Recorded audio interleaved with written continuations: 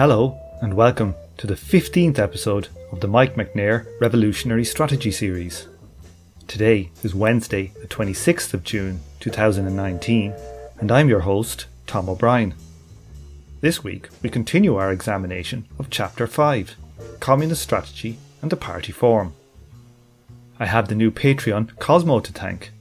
You too can join the Patreon Gang Gang for only $5 a month, which works out at $1 an episode and you get to vote on the next reading group series, to listen to the episodes a few days early, and other cool stuff like access to the monthly only Patreon podcast.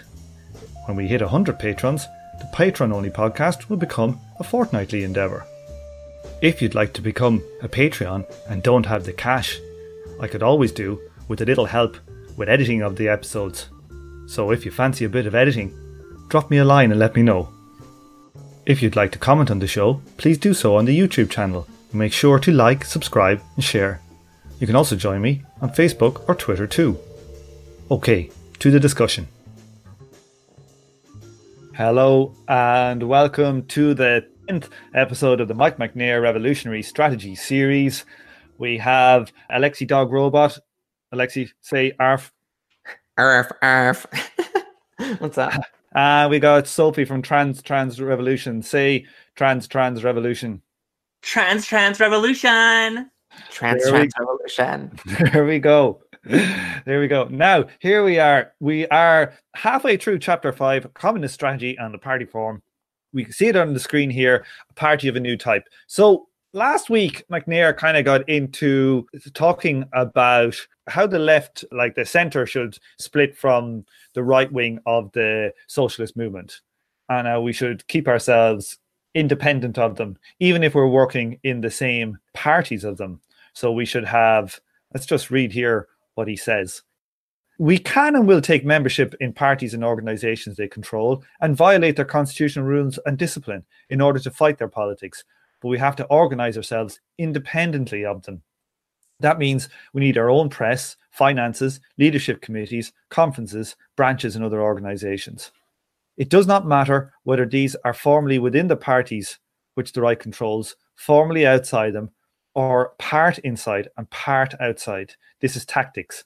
The problem is to purify the movement, which is illusory, but to fight the politics of class collaborationism. That's where we left off last week. What do we think about that? Do we think that like he's trying to be very he's trying to finesse this by saying we needed to split from the right, but that's the only split we ever need to do, as opposed to what we find in in our actual weirdo left commie sex, whereas we got to keep splitting to get more and more pure until there's me, my cat, and uh, some used dental floss in our organization. It's like this is also sort of the topic of the next chapter, like how to operate, because he wants he wants this split this organizational split, but then you're allowed to kind of do joint actions and he lays out the conditions for that in the next chapter. I suppose it's not that kind of crazy. Like if you think like Marx and them split from the anarchists in what 1870 what what year would they have would they have split the first international? Oh, 71. Yeah, I feel like it's they, 1871. So they split from the anarchists and now like we're saying the World War 1 split was the split from from the right, the Social Democrats. Mm-hmm. Okay. And what he's making the case is that both of those splits are necessary. And we go Actually, from there.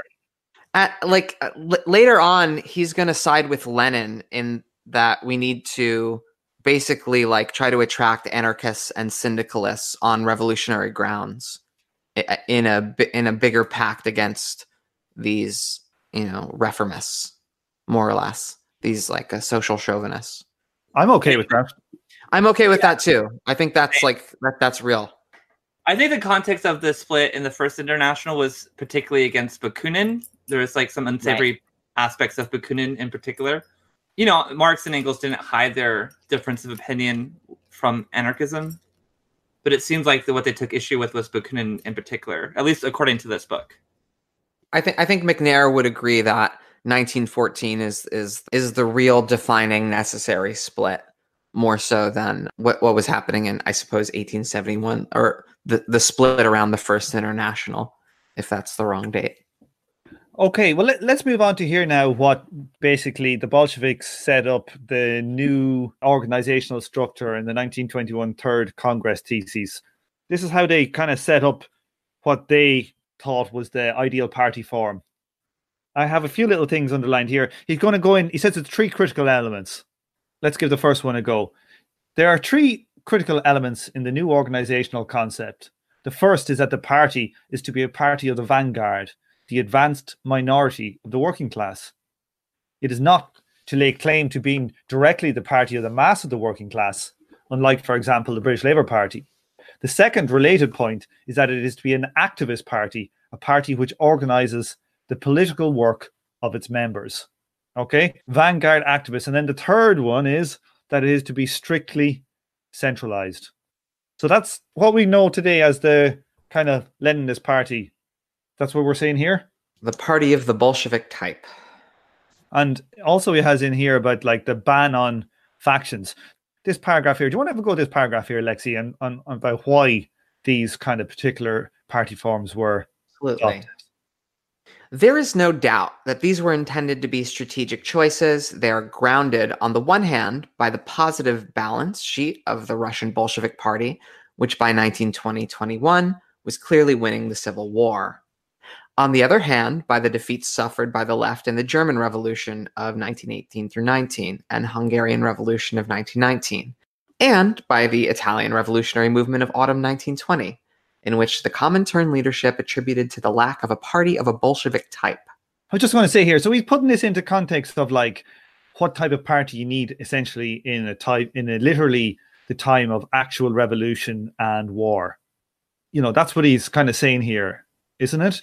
Yeah, he goes on to explicitly state this in a little bit later on where he says like the reason for why the Bolsheviks thought all these things were necessary was because they thought the time for a civil war was now, and Communist Party needs to be ready to engage in civil war essentially immediately. The Second International had built membership based parties, but had not theorized what they were. In this aspect, anti Leninism is characterized by simple political unrealism and ends in practice either in total inability to organize or in reproduction of the worst aspects of so called Leninism. What does he mean well, Well, because there's a lot of mythology around the concept of a party of a new type. And what he's trying to say here is that, you know, there was a genuine advance being made in this discussion, but it's not what it's mythologized to be. So, this whole concept of a new party, he says, is intensely contradictory. And what he means by that is that going beyond membership based parties and towards what he calls the party of, of activists was a good move. He thinks that's good. Why is he saying that's good? Well, I think why he's saying that's good is that there's a there's an overall shift in like what a party means. So the beginning of the paragraph, he's talking about how, like at the time of the Communist Manifesto, it says uh, the new party concept is intensely contradictory. On the one hand, it is a genuine advance in the theorization of actual membership based parties. Membership based parties, as opposed to loose coalition political trends, which were uh, were an innovation of the of the later 19th century. And when Marx and Engels said that the communists do not separate party opposed to other parties of the working class, and made similar statements about parties, it was the sort this sort of broad unorganized trend that they meant. So it was an innovation in that the party of a new type theorized this development in politics, right? Like the Second International built member based parties, which hadn't existed before, but they didn't really theorize about them. And so what this party of a new type did was was give an explicit theorization about this about gen, in general membership based parties, but specifically what communists should do with these parties. Does that make sense? Yeah. So is he saying that the SPD, you know, before the war wasn't an activist party? No, I, he, what he's saying is that is that it was. Well, I don't know if it was an activist party, but it was a member-based party. I, I guess. So, so this is the split, basically. What this is what's being said is that that what Lenin and what this like Leninist like party innovation was doing was conceptualizing what like what something like the SPD was, which is a mass party, thinking that it's not going far enough to really grapple with the idea of a membership based party.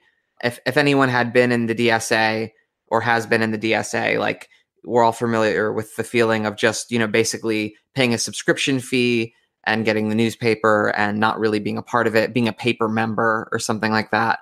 You know, Lenin was trying Lenin and you know his co-thinkers, his the Bolsheviks, other revolutionaries, they're trying to actually like theoretically suss out what it means to be a membership-based party. So that like broader category of membership-based party is broad enough to include the SPD, but also this supposed party of a new type. Part of the problem here is that there's a lot of mythology as to how new this is. This is where Lars Lih comes in. He he has a really interesting book called Lenin Rediscovered, where he makes the uh, the case that this isn't all that different than the Kautskian parties that came before, and that this was really uh, like a type of Kautskian party. He does a good job of resetting the narrative, but I, I think what MacNair is doing here is sort of admitting that yes, these are both membership based parties, but Lenin is theorizing like a a genuine advance in the party of activists, but also, as we'll go on to see, a kind of bastardization of what it would mean to be in a socialist party as well. Like it's not all in advance. okay, let's read this uh, paragraph here. On the other hand, it is also a theorization of what the Bolsheviks had done to their party in 1918 to 21, both in militarizing it and in setting it up as a minority dictatorship, a state authority against the working class. In this aspect, the new party concept, or as it came to be called after Lenin's death, Leninism, was a theory of the dictatorship of the bureaucracy and one which was to animate endless bureaucratic sex. Okay, so that's a kind of a that's pretty harsh burn there. Burn is my favorite word in this book. Which part of these three was actually militarizing it? Well, I think all of it militarized it in different ways. Mm. But the idea of a vanguard party in Leninism is that there is like an elite cadre, right? Party of activists is, you know, you have kind of grunts that do the groundwork.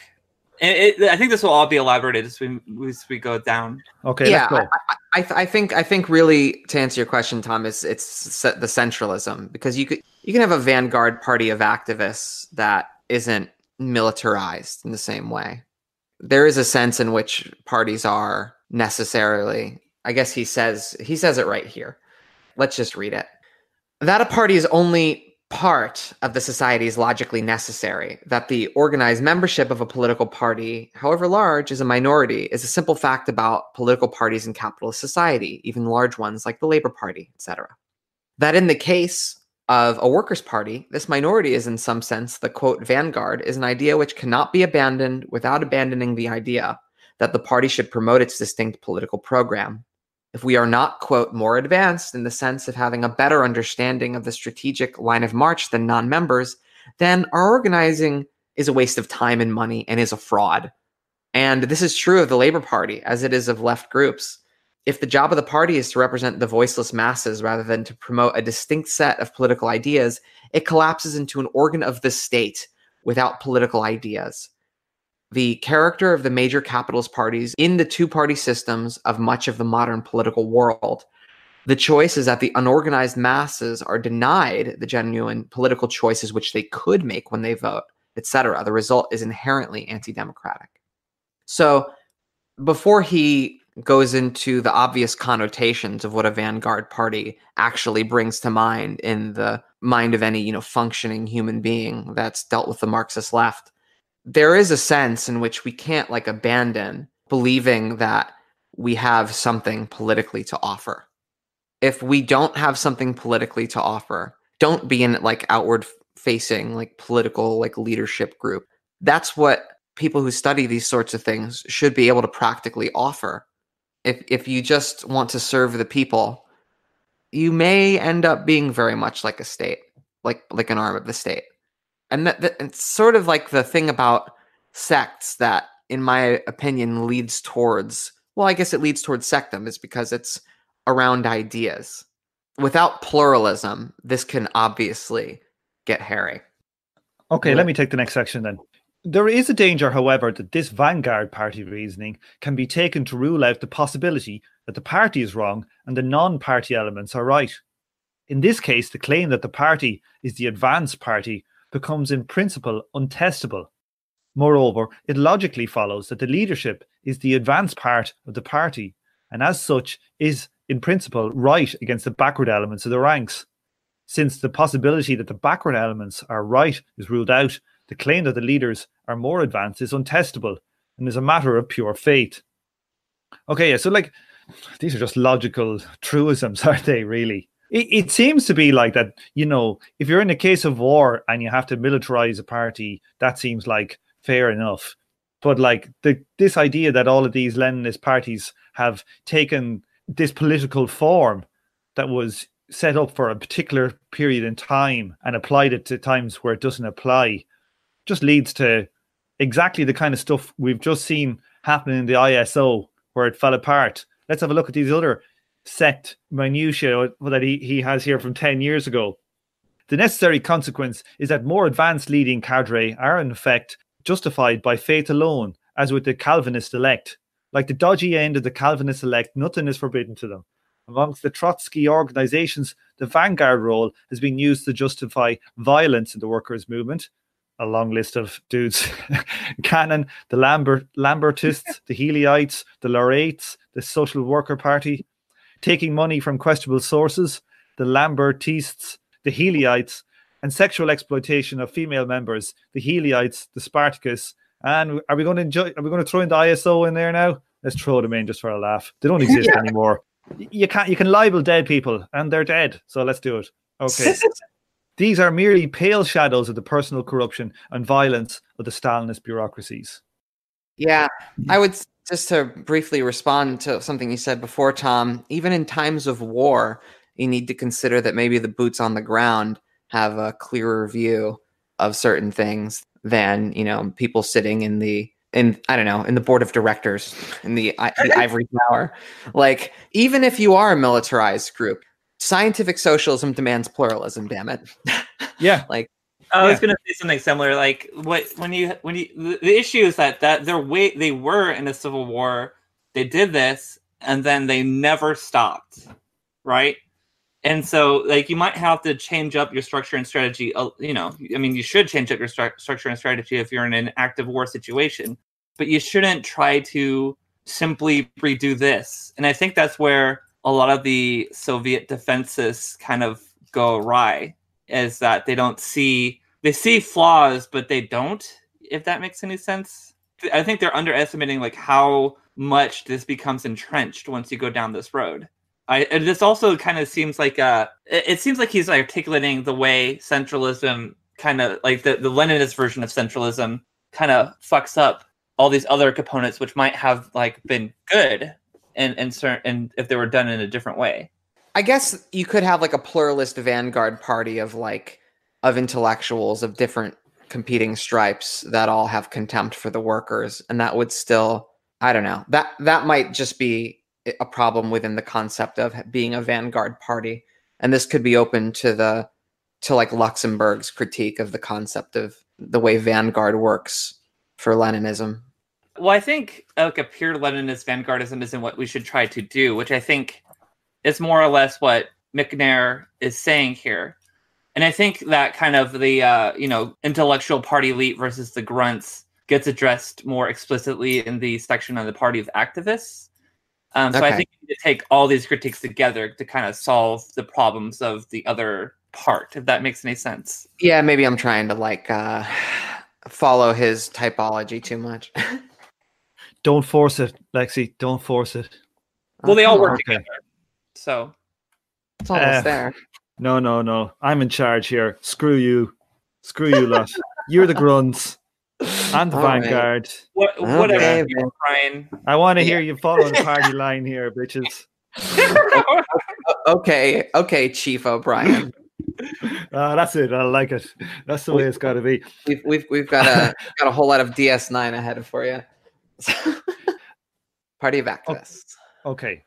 The idea of the Party of Activists is in itself no more than a recognition that political activity is work, and that, like other forms of work, it benefits from commitment and organized division of labor.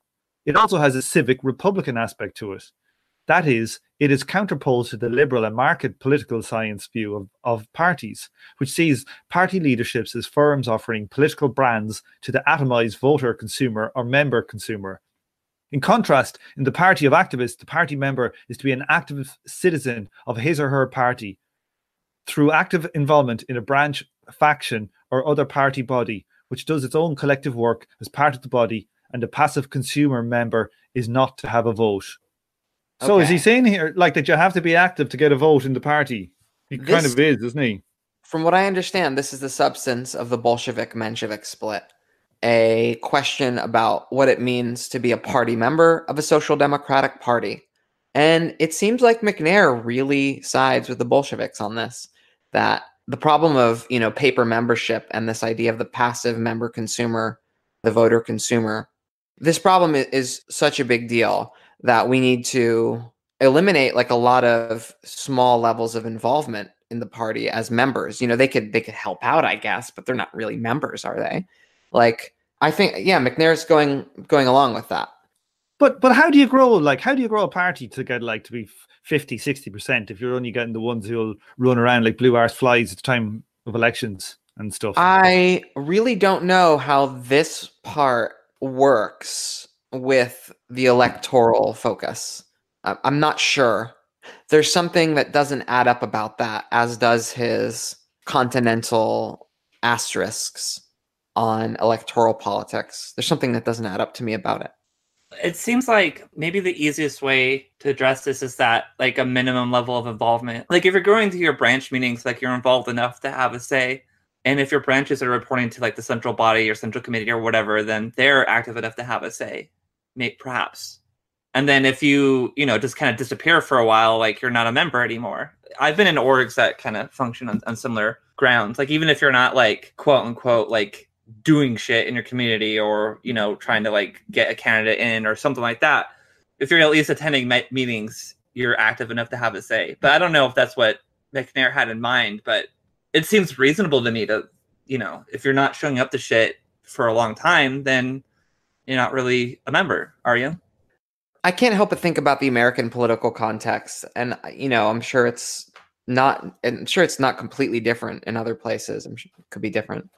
There's like political hobbyists that have a lot of time on their hands, and there's working people who don't. And the sort of natural way that that filters out a lot of working people.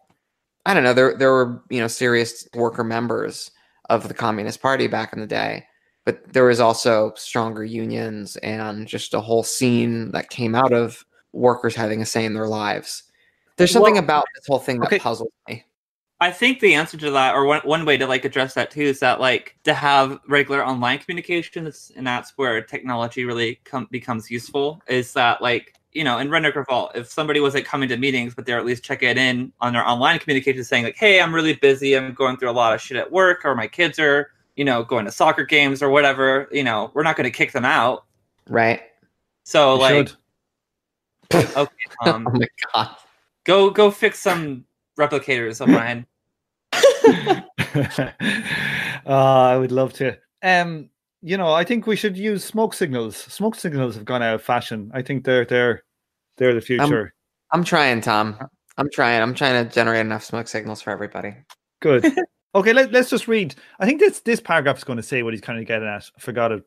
Is though the Comintern texts address address directly only the shortcomings of the social democracy, in this aspect they have grasped a fundamental feature of the capitalist political order in parliamentary regimes, i.e., that what is given with one hand through universal suffrage is taken away with the other through the constitution of the party system. I think he's getting here to like this idea that if it's just this passive suffrage that people just get de-radicalized. I think that's is that's his general point. This is part of his interesting like comment on the changing character of democracy with universal suffrage, or you know something that he's not even that psyched to, to call democracy because what is taken away via the constitution of the party system, you know, etc. That it, it's sort it's sort of in step with his general ad- advocacy of the democratic republic, but unlike Marx and uh, the latter Engels, and unlike the Mensheviks, he doesn't see like the form of the democratic republic as we know it in its bourgeois form to act to be like a fitting form of proletarian state. But he does want some kind of democratic republic as that form, as all these people did. Yeah, so let's move on. The other negative side of the party of activists idea is given by its combination with the quote actuality of the revolution. The idea that the trouble with the Second International was its passive propagandism, and that the tasks of the workers' movement have gone beyond propaganda to agitation, intended to lead to the immediate struggle for power. Taken together with the idea of a developed division of labor, this idea leads all too easily to the creation of a division of labor between the grunts at the base who are to run around like blue arse flies from one agitational initiative to the next, and the thinkers in the leadership. Self education of the militants at the base and long term propaganda work for ideas that are not currently agitational is damned as propagandism. Yeah. Doesn't that seem to describe like every Leninist sect? And that's a Doesn't shame it? because he, even um, when Lenin was arguing in left wing communism for you know why you participate in elections in bourgeois society, a big part of it was propaganda. What a what a shame to like dismantle like kind of the main thing that that's good for. Yeah, absolutely. This is like 1921 or you know 18 to 21, like the 21 principles. So the Lenin of left wing communism, if I'm correct, is much earlier before they take power, and so No, no, no, no. Uh, it's in, it's very interesting actually. The Lenin of left co- of left wing communism that's 1920, and oh, so is it? yeah, Oh, he's like I corrected. I think at that point he is no longer defending the idea of the council government and he's sort of moved on to the he's like going towards, you know, high Leninism and like the kind of thing that Lenin would actually be known for. But his thought is still a little more subtle. But it's yeah, it's the Lenin of left-wing communism might be like one of the last like like mixed bag text before he hardens into what Leninism sort of becomes. I just wanted to say before we go on that I I, I often use blue arse flies as a you know what run around like a blue arse fly. So it's an expression straight from my heart. That's lovely. It's a very colorful expression. Like just the idea of division of labor, and it should be obvious to communists that creating like a hardened division of labor, like and just leaning right the hell into it, and having like a bunch of people on a leash that you, you just run around and you know holding all the cards is like a terrible recreation of of like the earliest forms of class society.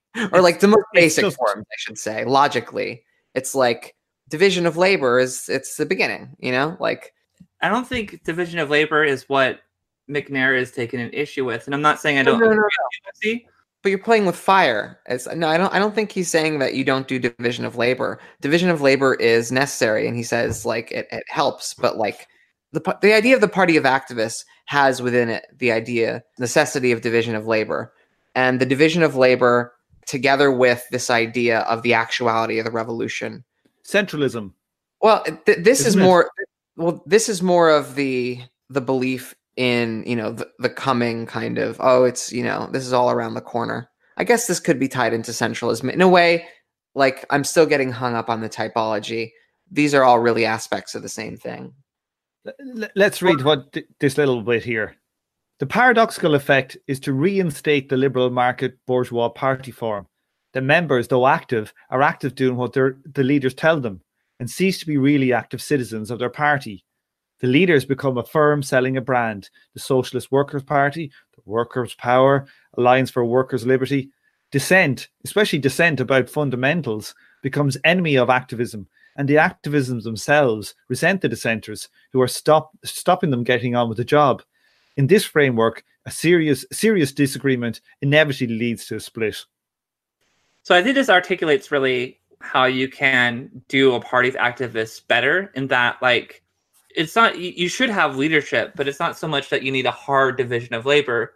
Party members quote unquote grunts or whatever should be able to dissent and should be able to disagree and should be able to like taught and be educated and to think critically about these matters. Sometimes leaders should get off their ass and do something. Is that if that makes sense? Like soften these divisions of labor help build up each other in several different skills. There's no easy question to like uh, how to like break down division of labor, but uh, excuse me, there's no easy answers to develop to how to break down division of labor, like or how to like subvert it or something like.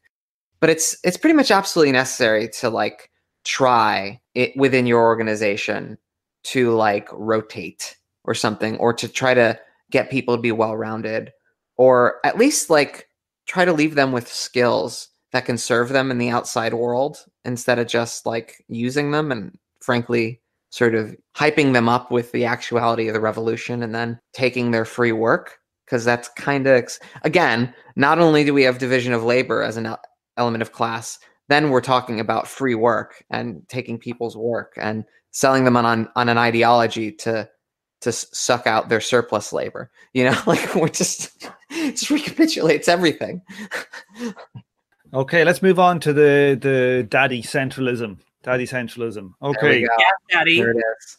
Yeah, daddy. Okay. Uh, uh, Sophie, do you want to take this little paragraph here? Sure. Centralism has two senses. The first, the absence of legal constitutional rights of the states or organizations' components, cantons, provinces, branches, etc., to sovereignty in their patch. I stress legal constitution rights. First, because in their absence, the center may still not pr- practically be able to enforce its will in the localities. See, for example, the SWP's difficulty in turning its, lo- its local branches around respect. Uh, second, because in the absence of legal constitutional rights of the components, we do not have federalism. England, before the rise of mass suffrage, was deeply politically committed to the autonomy of local governments but that did not make this country federal. Having federalism thus implies having a constitutional court to decide whether the censure has invaded the component's rights. Federalism is, in other words, a form of dictatorship of the lawyers. That is why the U.S. capitalist class, at the time of the creation of the U.S. Constitution, preferred federalism to democratic republicanism. In this sense, the Comintern centralism was right federalism, even in the sense of dictatorship of the lawyers, may of course be a step forward in relation to what actually exists. Thus, for example, Marx and Engels argued that a federation of the British Isles would be preferable to the existing UK unionism.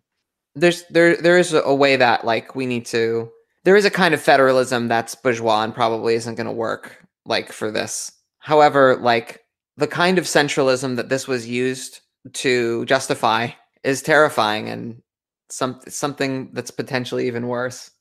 It seems uh he doesn't come out and explicitly say this, but it seems like he prefers the kind of centralism of like a democratic republic.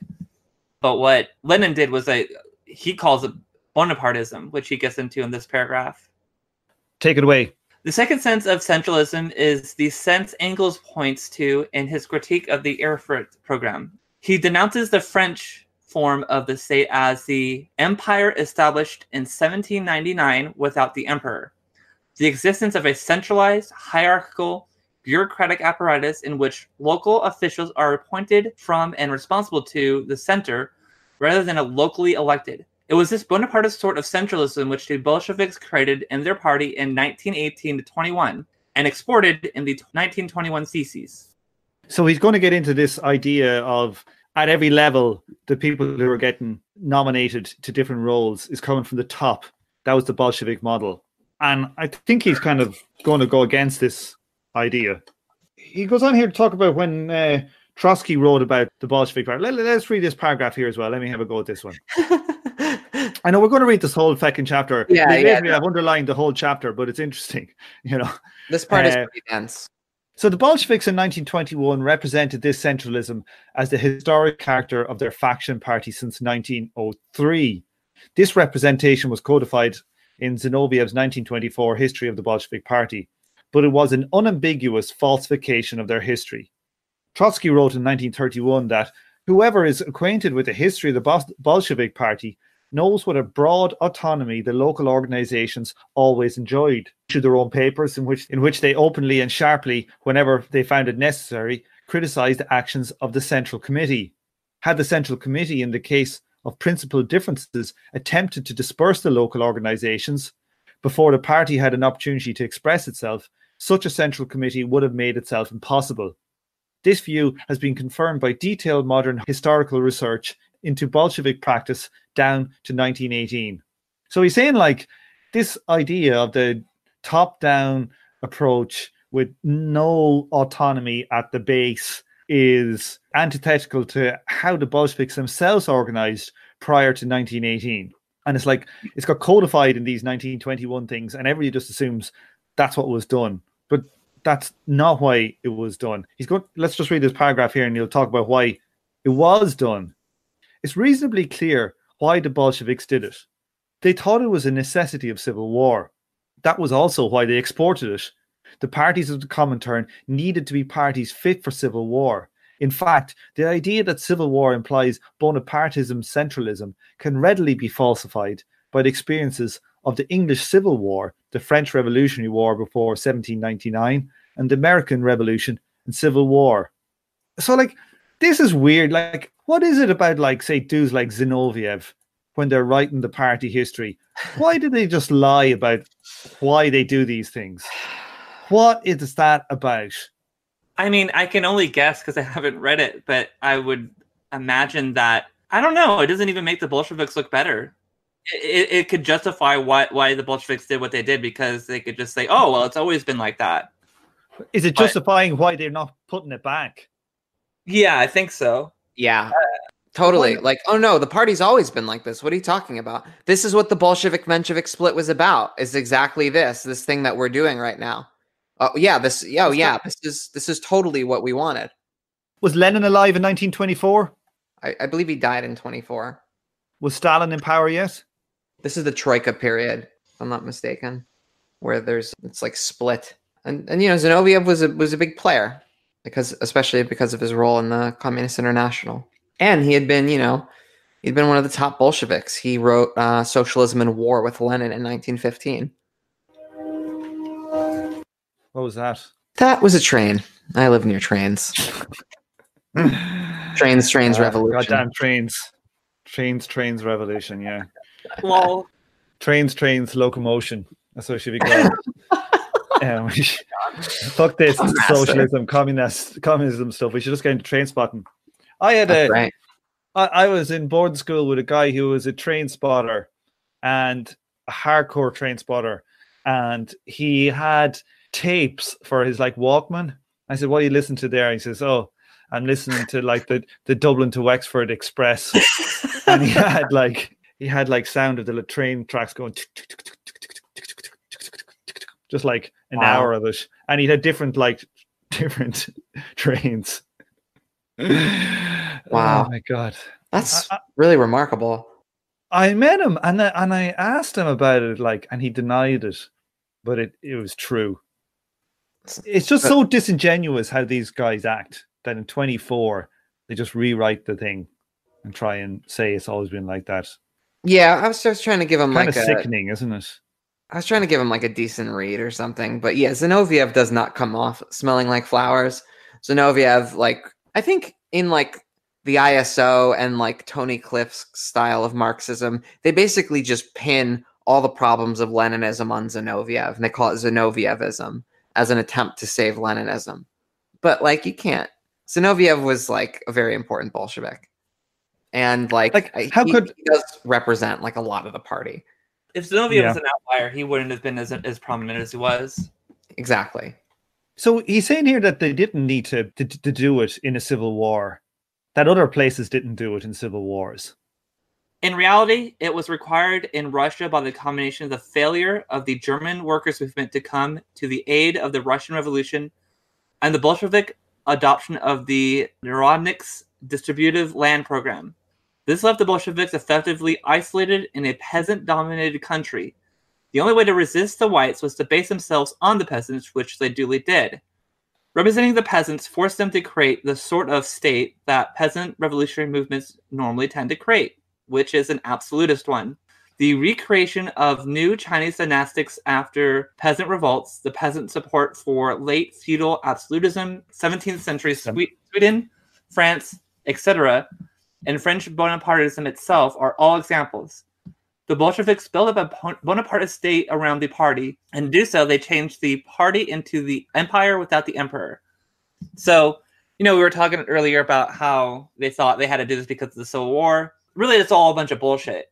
And I don't even know if they necessarily realize it's a bunch of bullshit. They it seems like they really believe that this kind of stuff was necessary to win a civil war, and they had the track record to prove it. But realistically, it seems like there was this came about by situations out of their control. So he's making the case then that because they had to like form a massive coalition with the sickle, the hammer and the sickle, the workers Mhm. and the peasants, that they ended up kind of having a lot of the political motives that MacNair is just kind of I would like to see the, the statistical evidence for this and not just cherry picking to be honest that peasants are only able to you know or have a tendency towards absolutism.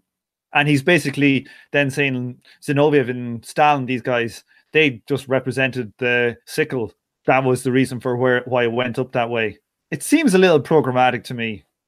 It is, but this is a long-standing like Marxist theory and like idea that like a dictatorship of the peasantry is gonna come out very differently, and that there's something very different between the kind of uprisings and dictatorships that you had in feudal Europe versus the kind that you would have in bourgeois Europe. Th- This there is something Marxian that like this is this is like a Marxian thesis. I think this does come out of Marx's and Marx and Engels' body of work. So is it like maybe a questionable premise that we should try to substantiate more? Yes, but I think it's it's perceptive to not. Um, But wait a second now. Wait a second. Like, where is a counterexample? We've got no revolution that hasn't led to an absolutist one that was socialist. So why are we saying socialist revolutions are somehow not absolutist as well? They've all Well, tended that way. That's the critique given here is that both in the USSR and China, these were essentially dicta- th- they, they formed dictatorships of peasants instead of dictatorships of the proletariat because they're peasant majority countries, which I think Right. is kind of the the point that he, MacNair is making here is that it wasn't a civil war that necessitated this kind of party, but rather the Well, peasantry. Yeah, fair enough. But like, why are we saying that the proletariat won't end up with an absolutist one? no, I mean no. This is a very good question because if you think about the debate within the Bolshevik Party, there was a strand that was associated with more of the left that was like, look, we're a we're a proletarian party. Okay, peasants, fine, but we have to stay true to our vanguard principles and be, you know, proletarian communist party. Whereas there was what was thought of as the right, and you know, people like people like Stalin ended up taking points of view like this. That well, listen, in order to be democratic, we have to represent the peasantry. Ultimately, that's the that's what they went with, and there's a whole very like hard-hearted anti-democratic but oh we have to be more proletarian quote unquote like streak in the in the party. And that that streak may have ended up with you know a similar policy towards the peasantry because stalin is famously identified in in like that third international you know left right center. He's thought of as the center in a way because he would zigzag between the left and the right. Sure he buddied up with the the peasants in like an earlier period and was closer to the right he was closer to the right than the left and then when it came time to do forced collectivization in, instead of having a broader nep right he ends up going with this strategy that's closer to what trotsky was putting out there now it's, it's a real question that whether a real proletarian party that was really representing proletarian interests would have ever done anything like forced collectivization. But brings up two things. One, that even if you're not attempting to represent peasant interests, you might end up doing horrible centralism. And, you know, the other thing being that none of these communist revolutions happened in, without peasants, like more or less. And um, really, if you, if you think about it, that these revolutions are of a kind with the bourgeois revolutions. And that, that's something that wasn't lost on a lot of the people performing them, but they were hoping to go further. And sadly, that wasn't in the cards. You know, that was my Karl Popper turn. But It's wait, good. what if all the commies are just going to turn to Stalin turn? But it is a question to Oh, ask. really? You know, it's a reasonable question to ask.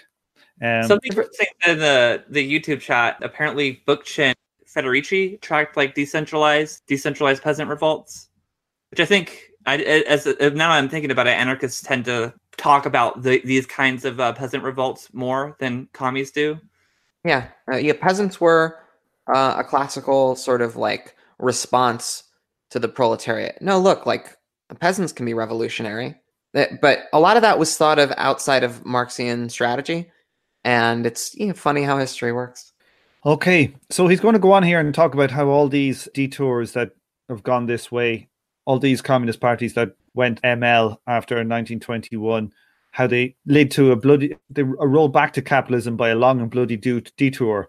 Russia itself, Yugoslavia, China, Albania, Vietnam, in fully yeah, that, that's if, that's if they take power. That's the best case scenario, right? Yeah, if they take power. In fully capitalist countries, they can have one of three fates. Firstly, they can evolve back into Kautskian parties. The clearest cases are the French and Italian communist parties. Such parties officially prohibit factions, but have them de facto and are officially Bonapartist centralist, but in practice allow a lot of leeway to branches and factions. I would say that I would say that MacNair really admires this period of the Communist Party, and not because they actually pursue a centrist strategy that allows for factions. Like he's, you know, like he's he's mentioning, yeah, of course they formally didn't allow factions, and elsewhere he says, yeah, they were trying to pursue a right wing strategy, but uh, after after the fifties, communist parties were persona non grata, and so they ended up being these like centri- centrist, like unwilling centrist uh, unwilling pluralist communist parties. I think he has a soft spot for the communist parties of the Khrushchev period. So when you mean unwilling pluralists, unwilling centralists, what are you what are you saying exactly? Oh well, like unwilling centrist, not centralist. So uh, Sorry. like uh, yeah, like they wanted to be like b- proper bourgeois coalitionists, but the after the secret speech and uh, sending in the tanks, uh, the bourgeoisie didn't, you know, they weren't gonna break bread with the fucking communist party anymore. Like that those popular that popular front shit was way over. So they were kind of because they're not left-wing communists, right? They're not like uh, abstentionists. They were forced into a centrist strategy without really wanting to. And then just what he's saying here, I don't know if it's truly the case that they in practice allowed a lot of leeway to branches and fractions, but it reminds me of something that like of of all people, Amadeo Bordiga. That he was a he was an old Communist Party uh, leader, you know, back in the day, and he became one of these weird like left Leninists. But um, his point was that listen, it doesn't matter if it does. You know, who cares if you have m- multiple parties? All that matters is that you're able to have like debate within the party. Next one. They can turn into small bureaucratic centralist sects most of the Trotskyist and Maoist groups and some official communist ones. Or, this is my favorite, they can collapse altogether. Okay. Adopting yeah. and exporting Bonapartist centralism was just plain wrong. When it was completed by the 1921 ban on factions, it left no legal means by which the working class could get its party back. As became apparent in the fate of the opposition of the 1920s, it tended to emphasize the negative rather than the positive sides of the vanguard party and the party of, act, of, of act, activists. So it's primarily centralism he's coming down on. Oh, yeah. No, he's, he's pretty hard on centralism. Yeah, he likes these Kautskian parties. That's why he wrote so much about them. He thinks they're like under theorized and under understood. Okay, so now he's going to do a, a wee bit on the what sort of party. We've got like one page here, and I, again, I've underlined every goddamn line. So let's just give it a go. At present, the mass workers' parties, wherever they exist, are so dominated by the class collaborationist, coalitionist right as to be little more than left capitalist parties. Burn. The larger, the larger small parties of the left, the surviving official communist parties, the Rifondazione Comunista and Die Linke, are also dominated by the coalitionist policy. To their left is a wilderness of bureaucratic centralist sects. Ain't too much change, MacNair. Rip. Rip. The working class urgently needs new political parties and a new international, which stands for the working class pursuing its independent interests. What sort of party? In italics. It is impossible to get out of where we are now without being willing to read the texts and lessons of the early Comintern, but to do so critically. Italics. To accept the Comintern texts at face value produces bureaucratic centralism and splitism. To take them at face value and reject them out of hand produces either complete inability to act, the anarchists, movementists, left and council communists, etc., or collapse back into the policy of union with the right on the right's terms, the Labour left, etc.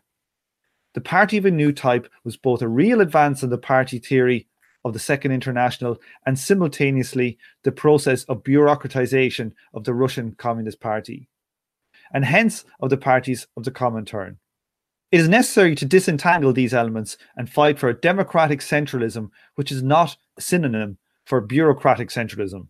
So he's coming yeah. back to centralism now. What is he meaning by democratic centralism as opposed to what these Leninist parties do now? Because they call democratic centralists, right? Don't they? He, he's trying to appeal to some kind of republican centralism that is basically a far superior form of centralism than what is called in real life democratic centralism. Because when you hear democratic centralism, you should be reaching for your Kalashnikov. Like that's that's when you're you're starting to get into some weird commie buzzwords for authoritarian power dynamics. I, I I think the most interesting thing that's being said here is that is that he has a threefold critique of basically every existing left strategy here. He criticizes the Leninists, he criticizes the anarchists and the left communists, and then he criticizes the reformist social democrats, all on the basis of a wholesale acceptance or rejection of the text of the Comintern, the early Comintern. That's a pretty sophisticated critique. He's trying to carve out a space that isn't just autonomist or Leninist or reformist he's going for it. But I don't know how well he succeeds all the time, but the fact that he's like really going for this and has like a systematic critique of all of this. I'm never sorry for reading it, even if sometimes I'm like dumbfounded.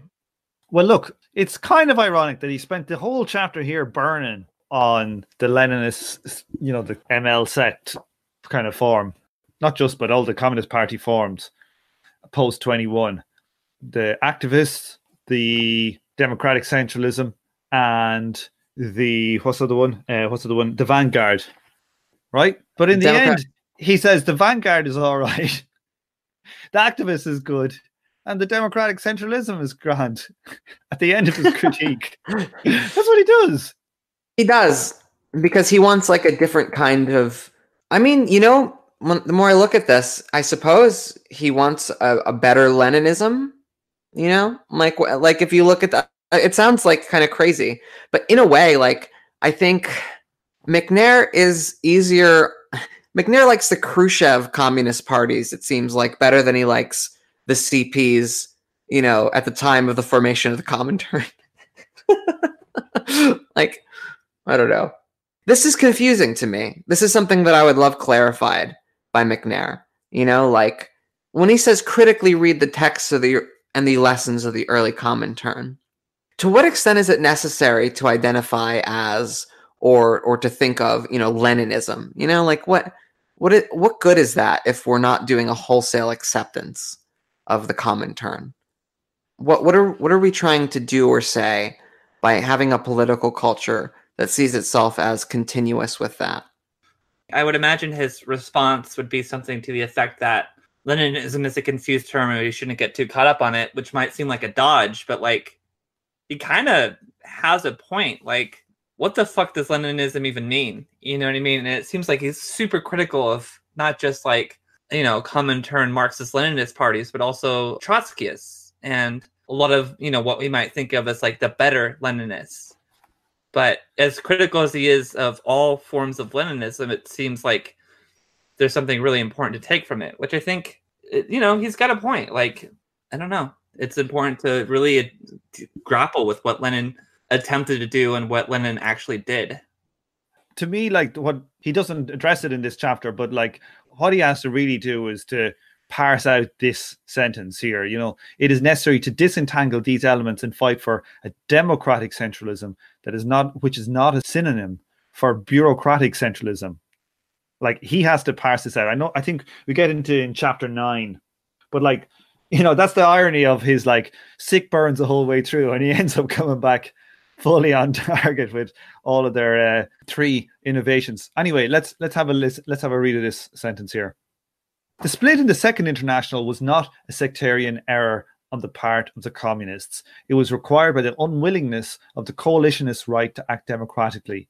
Marxists have to organize in a way which is not dependent on unity with the right. We have to accept that the split in the Second International will not be reversed unless Marxists together abandon our politics and accept the corrupt world of Blairism, etc. Look, I don't know what he means about Tony Blair's corrupt. I don't see what's wrong with going off and making millions of pounds working for right wing dictators all over the globe. Like, what the fuck is MacNair's problem? Yeah, Leave that man alone. Yeah, hero, hero of socialist work. labor. The world, he's doing God's work. Yeah, God's work. Yeah, I tell you. Now, good Christian, he did nothing wrong. Absolutely. Now we've got our last two paragraphs who wants to give these a go? Let's do it. But splitting does not purge the movement of opportunism. It is a defensive necessity, not a means of offense.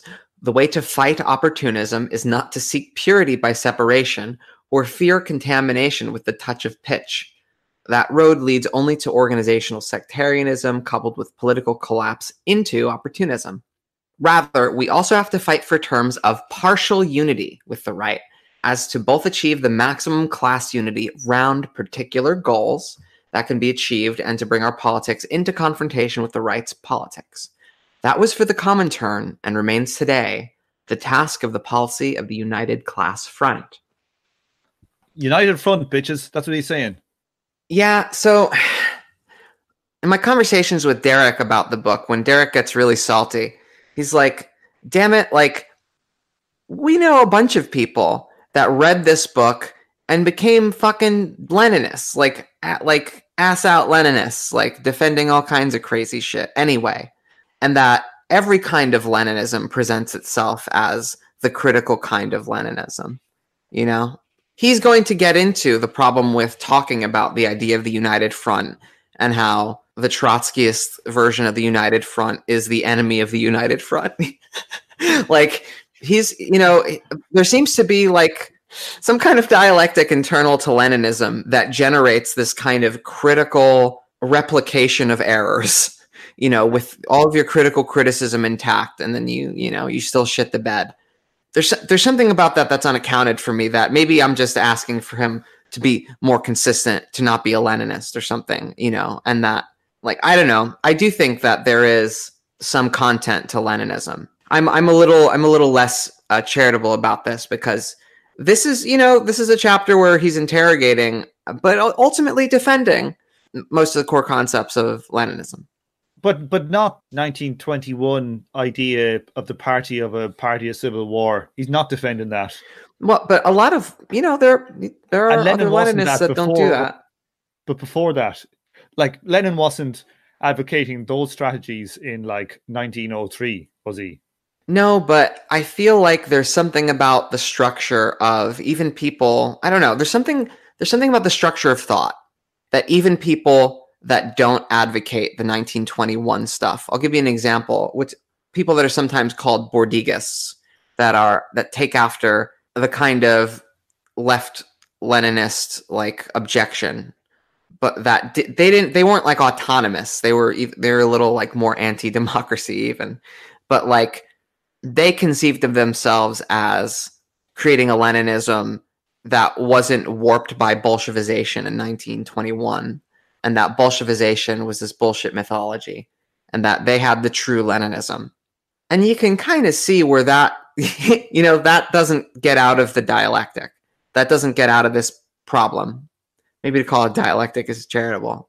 It's a, it's it's some kind of stasis. There's some kind of problem that I don't feel like is is grappled with here. Even if I, I don't know. It's like I agree on paper. You know, this is fine. But like, but that could be like it could be that you know the strategy is sound, but mm. that society is not ready for it. You know what I mean? Oh, like oh that, but what what does that mean? You know what I no, mean? I, Like, I- no, but I mean literally like that. Right now, the people that are attracted to this strategy are people who are in the radical left, and you know those Leninist sects, and most of them are. You, you just need more and different types of people than those people on some level. You know what I mean? right, but when I say a Like- structural problem, I, I mean something that won't be solved by having different people in it. You know what I'm saying? but like the structure could be it could be a societal like is in like you know if the left is radical the community left is so weak that you're not going to have a large influx of people who can do stuff and can take a forward a strategy that you end up with these small individual groups that try and put it into but obviously it won't work and they end up going down and just flailing around and falling apart I just think an awful lot of the people that are attracted to Leninist parties right Mm-hmm. now are people who I don't know what I'm. well, they're, poli- they're they're they're Probably kind of authoritarian. Everybody who poli- listens to my show. they're authoritarian poli- political hobbyists. They're political hobbyists, Yeah. and and they have like a stick up their ass, just like someone who's like a Star Wars fan that want you know like like, def- that hates the Last Jedi or something. yeah, you know, but like definitely not everybody, but uh, maybe not even the majority, but enough to ruin the organizations. well, yeah, some Star Wars fans are great. You know, I I don't know if this is 100% related, but like it, it brings to mind like a debate I got into regarding something looking like this last paragraph, you know, fight for partial forms of unity with the right so as both to achieve the maximum class unity around particular goals. So, assuming that, you know, whether this is accurate or not, let's just assume for the sake of argument that the right in in this sense uh, of this debate is Stalinism, right? So, I, I knew somebody who was arguing that it's okay to organize with Stalinists to form unity around particular goals, and even allow them into your party, as long as there's programmatic agreement. And my experience with dealing with Stalinists is that they will wreck orgs because they think they have all the answers, and it needs to be a, a proper Marxist-Leninist party or organization. My my question is, does that fit in the framework of MacNair? You see what I'm saying? Like, is is organizing with with Stalinists and even allowing them into your party in line with MacNair? it seems like that there could be some kind of like early Comintern and Khrushchev period defense of Leninism that could, in theory, try to set itself so far apart from Stalinism that it, you know, I don't know, like, I don't even, I don't know if it's compatible. I don't know if it's compatible. I think I have a hard time answering this question, but what I can say for sure is that this could be reconstructed in such a way that excludes Stalinists. Because in my, in my opinion, using MacNair's own words, we're talking about dweebs who want to split to pr- have some kind of pure split or purge in order to have some kind of pure revolutionary cadre, which is what, something that something like that has happened to an org I used to be involved with. Right?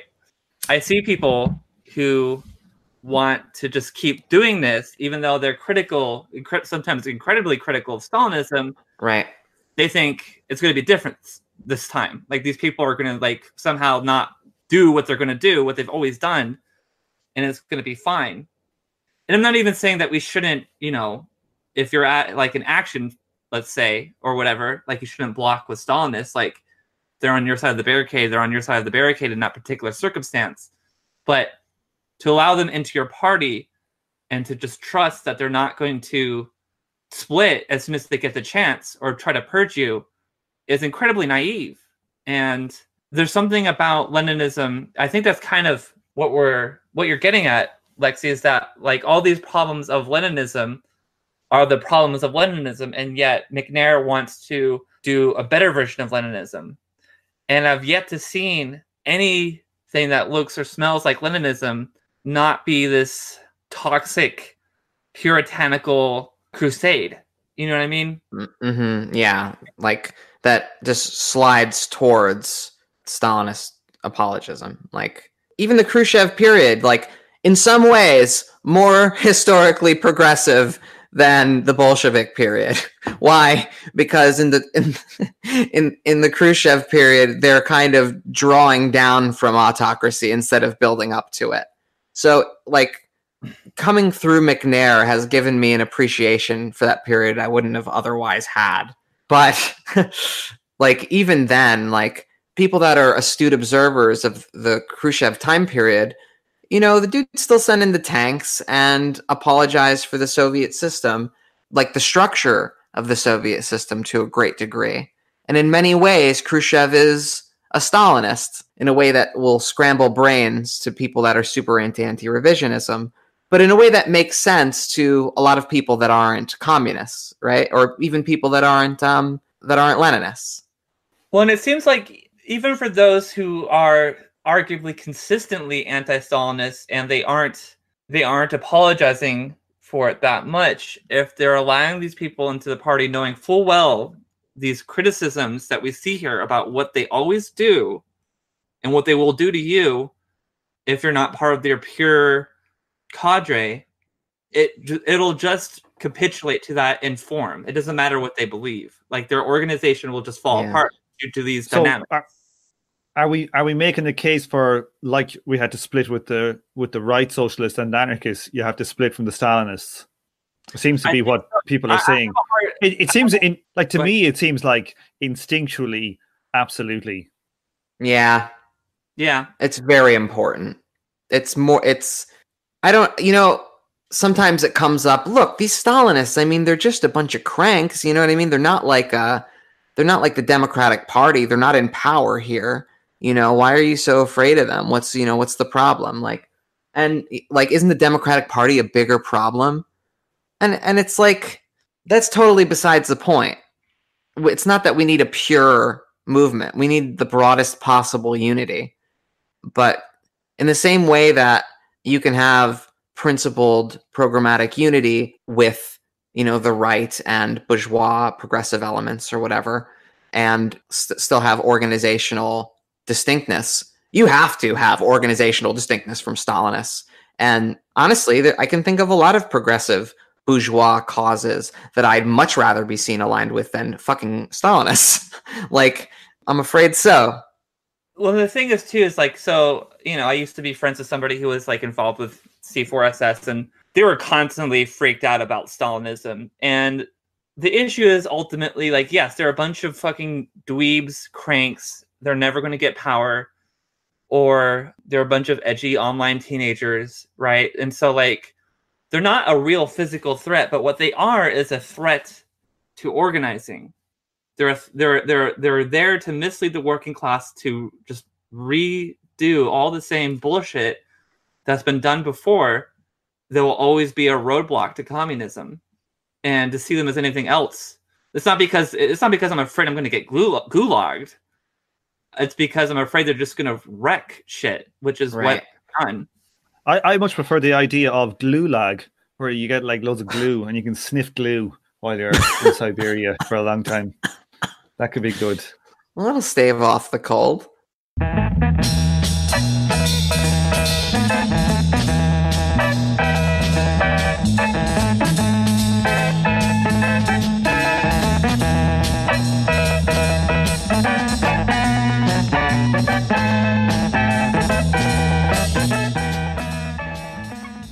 On this episode, you heard the theme tune The Order of the Pharaonic Jesters and The Night of the Purple Moon by Sun Ra and his orchestra. Thanks for listening, and please join me for the next episode of From Alpha to Omega. This show is a member of the Emancipation Network, Marxist podcast and research collective. Make sure to check out our network sister podcasts, General Intellect Unit and Swampside Chats.